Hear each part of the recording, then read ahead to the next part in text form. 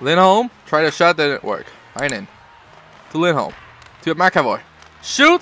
And it's a goal! Hit by DeBrusk, Coral. To DeBrusk To McAvoy. And it's a goal! Second goal. Frederic. Shoot! Rebound! Van Riemsdyk with the goal. It's 3-0.